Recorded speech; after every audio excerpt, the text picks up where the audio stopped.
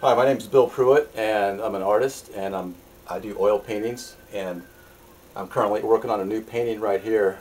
It's, it's oil on canvas, and it's, as you can see, it's uh, Rocky, and the character from the movie of Rocky Balboa called Mason Dixon that he's fighting, and um, with this painting, I'm using a, a palette knife, and that's all I'm using for this to apply the paint. I'm not using any brushes, um, which I normally use are, are brushes to do my paintings because um, with the brushes you can get really detailed and make them almost look photographic. Whereas with a knife you can you can make it look really uh, almost abstract by by the way you apply the paint. And um, well I'll, I'll give a little demonstration here to show how I do it.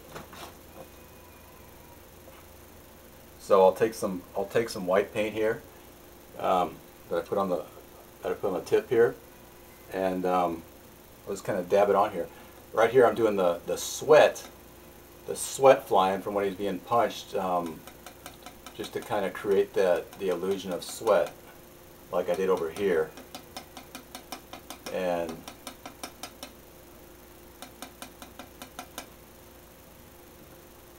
and that's how I do it with that. I just kind of dab it on. That's a technique I use. And and then sometimes I'll take the, the knife with different colors on it and I'll just kind of drag it and just kind of give it a give it some scratches so it looks looks all rough. And but that's how you got to do that when the paint's wet too. So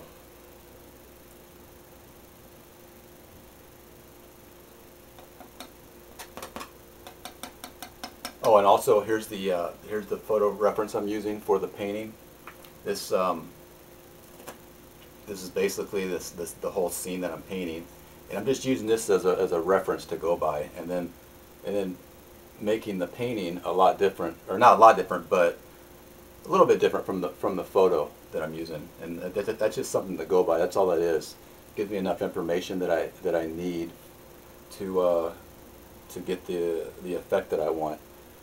And um, I probably have another about another day's work on this till it's done just to uh, get everything kind of cleaned up and, and it's it's it's pretty much done like from from this side over to here. And I basically just have to finish him and the ropes and all this part over here. And uh, and then I guess that's about it. And um, well here I'll paint I'll paint a little more just to give you an idea of how I of how I approach my work.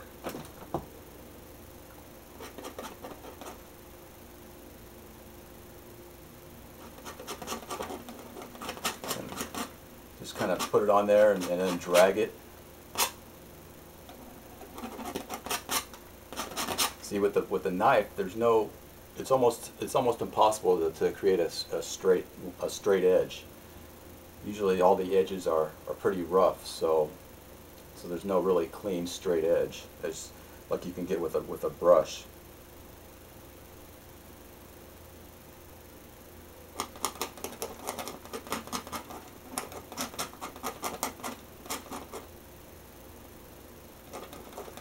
And this this size of canvas that I'm working on is uh, 30, 30 by 40 inches.